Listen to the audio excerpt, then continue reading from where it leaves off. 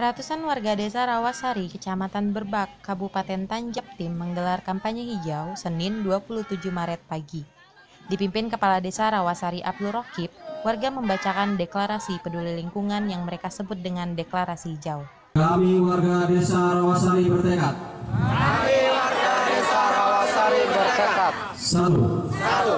Akan selalu menjaga kesetiakawanan akan selalu menjaga kesetiakawanan dan kepedulian sosial, dan kepedulian sosial, memupuk semangat gotong royong, memupuk semangat gotong royong, dan mewujudkan kebersamaan sosial sesama warga. dan mewujudkan kewarganegaraan sosial negara warga. Dua.